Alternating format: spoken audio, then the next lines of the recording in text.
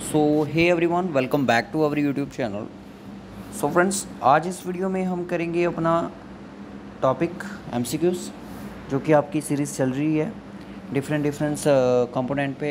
जैसे कि रात को आपको लास्ट नाइट को हमने जो लेक्चर आपको प्रोवाइड किया, वो जनरल नॉलेज पर था, जिसमें आपकी हिस्ट्री जोग्राफ़ी और कल्चर इंडिया का कवर हो रहा था।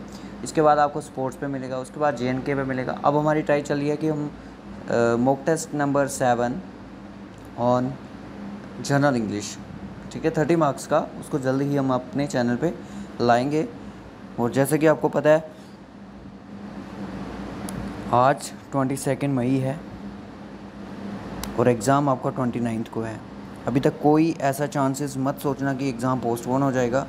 जे के भी अपने एग्ज़ाम को लेके सीरियस है और इस एग्ज़ाम को वो ट्वेंटी नाइन्थ मई को ही कंडक्ट करेगी। आपने अपने एग्ज़ाम की तैयारी अच्छे से करनी है। तो चलिए फिर लेते हैं आज आपका टेस्ट। फिफ्टीन क्वेश्चन रखे हैं, जिसमें आपके कुछ टॉपिक कवर किए जाते हैं फिज़िक्स केमिस्ट्री बायोलॉजी जो कि आपका बताता है एक topic general science health hygiene और सैनिटेशन जो आपका एक टॉपिक है, ये भी मैंने साइंस में इंक्लूड कर दिया क्योंकि एक साइंस का ही टॉपिक है ये। और इसको मिला के मैं आपको बता दूँ, इस तो पूरे टॉपिक में से general science with health hygiene and sanitation आपको सिर्फ़ दस क्वेश्चन पूछे जाएँगे।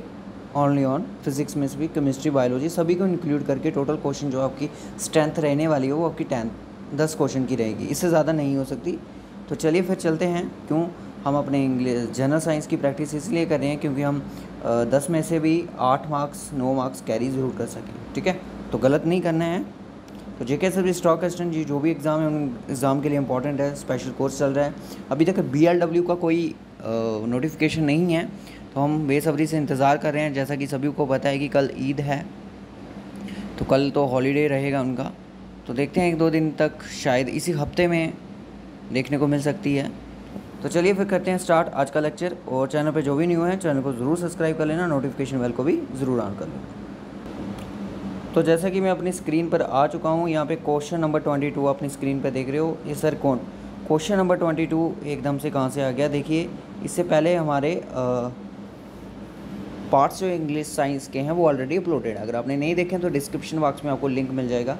तो बोरा के पीछे आप the following is the symbol of aluminium aluminium का सिंबल क्या है? एफ़ ई है ए यू है ए जी है, या फिर ए एल है? जल्दी से बताइए। क्या लगता है आपका क्या आंसर होगा? तो इसका आंसर जो है आपका, वो है ऑप्शन ए एल ठीक है?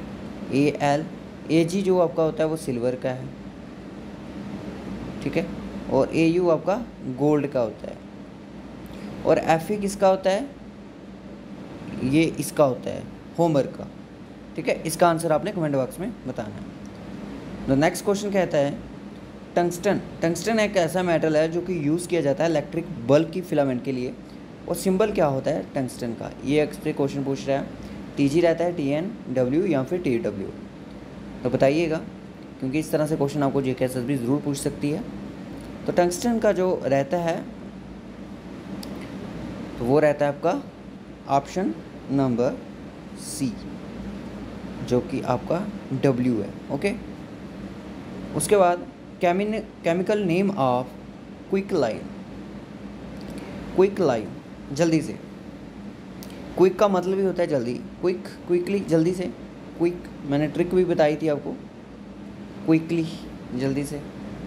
केमिकल नेम क्या होता है क्विक लाइन का? कैल्शियम सल्फेट होता है कैल्शियम ऑक्साइड होता है कॉपर सल्फेट होता है सोडियम बोरेट होता है। बताइएगा जल्दी से। देखिए, अगर किसी के पास G K S S B class fourth की बुक है क्लास फोर्थ की जो बुक थी अरिहंत की, मेरे पास पढ़ी हुई है। मैंने उस पर क्वेश्चन देखे कुछ ऐसे कि गाइस बहुत सारे क्वेश्चन ऐसे थे जो J K S S B ने क्वेश्चन पूछे हुए थे। मतलब उस बुक से काफ़ी चीज़ें मतलब कि पूछी गई थी। ठीक है? तो ज़्यादा मैं पेपर नहीं कह सकता कि अगर फोर्टी क्वेश्चन थे तो फोर्टी में से ट्वेंटी क्वेश्चन मतलब कि उसी में से बन रहे थे। उसी के टॉपिक वाइज में से कह सकते हो या फिर ऐसे कह सकते हो, ठीक है? तो अब आपको बुक लेने की ज़रूरत नहीं है, ये चीज़ें मत सोचना अब। बुक के चक्कर में नहीं पढ़ना क्यूक्लाइम का जो होता है केमिकल नेम वो होता है आपका कैल्शियम ऑक्साइड मैंने बोला था क्विकली क्विकली का मतलब होता है हरियप जल्दी से ऑक्सीजन लाओ। ठीक है। उसके बाद आता है which of the following is use in beauty parlour for hair setting इस तरह से क्वेश्चन पूछती है जे केसेस में कौन सा इनमें से ऑप्शन में से जो इसका यूज़ किया जाता है? हेयर सेटिंग के लिए ब्यूटी पार्लर ब्यूटी पार्लर में आप जाते हो हेयर सलून में जाते हो तो आप बोलते हो कि हमारा हेयर कट कर दो एंड हमारे जो हेयर का स्टाइल है वो उसको भी थोड़ा सेट कर दो। तो वहाँ पे यूज़ किया जाता है आपकी हेयर सेटिंग के लिए। क्या वो क्लोरीन यूज़ किया जाता है? सर क्लोरीन का यूज़ जो होता है, वो आपने बताया था कि डिसइनफेक्टेड किया जाता है वाटर को ड्रिंकिंग वाटर को। ये चीज़ आपने, हमने वहाँ पे बताई थी तो ये ऑप्शन नहीं हो सकता। तो सिलिकॉन सर सिलिकॉन जो होता है, उसका यूज़ जो किया जाता है, वो होता है आपको पता है कि जो सोलर लाइट प्लेट्स वगैरह होती हैं, उनको बनाने के लिए उसका यूज़ किया जाता है, ठीक है?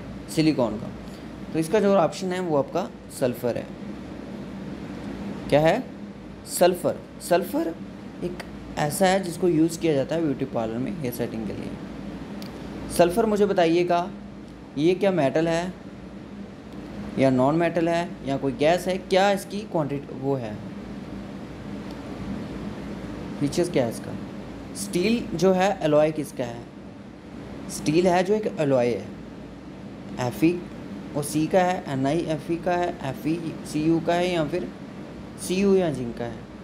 सी यू और जेड एन यानी कि कापर और जो जिंक है, जो है, ये जो होता है आपका ब्रास का होता है। ब्रास जो एलॉय है, वो इनका है।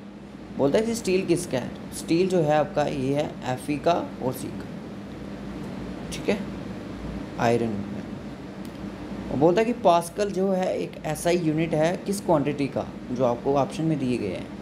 पावर का है वर्क का है डेनेसिटी या फिर प्रेशर का। तो पास्कल जो एस रहता है, वो ही यूनिट रहता है किसका? प्रेशर का।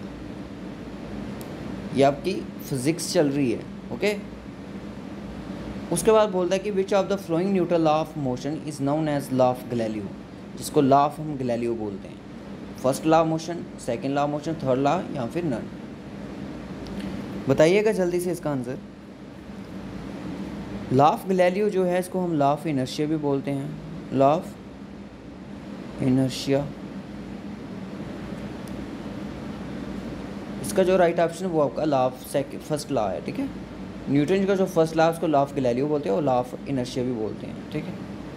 उसके बाद होता है कि which instrument use to measure the force and velocity of the wind कौन सा इनमें से ऐसा इंस्ट्रूमेंट है जिसका यूज़ किया जाता है? मैयर की जाती है फोर्स और वेलोसिटी जो होती है विंड की उसको। वोल्ट मीटर सर, वोल्ट जो होता है, मैं अभी बता नहीं सकता। बताइए इसका आंसर क्या होगा? वोल्ट मीटर होगा, आडियोमीटर होगा, नेमोमीटर होगा या फिर आल्टीमीटर होगा? इजी क्वेश्चन है, इसको लिमिनेट कर सकते हो। आप वीडियो को पास करके आप। इसके लिए जिसका यूज़ किया जाता है, वो होता है आपका एनेमोमीटर एनेमोमीटर जो यूज़ किया जाता है फोर्स और वेलोसिटी की वेलोसिटी ऑफ़ विंड को मेयर करने के लिए। वोल्ट मीटर जो है पोटेंशियल डिफरेंस को मेयर करता है, करंट की। ऑडियोमीटर होता है जो कि या कोई नॉइस को हेयरिंग करने के लिए यूज़ किया जाता है छोटी छोटी आवाज़ों को।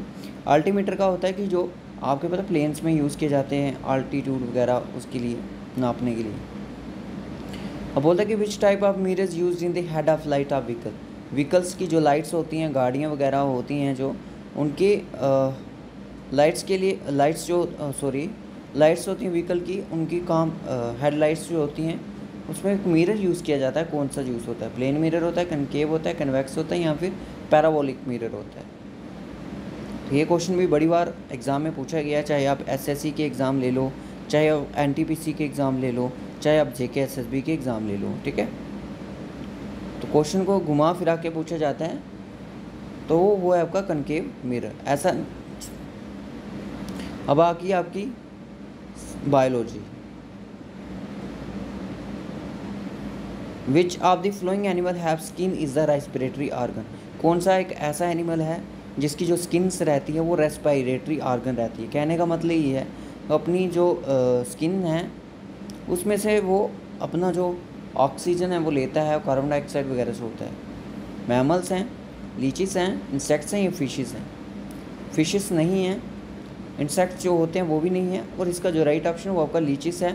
इसमें आपकी और भी कैटेगरी आती है फ्रॉग आता है और आपका जो होता है अर्थवाम।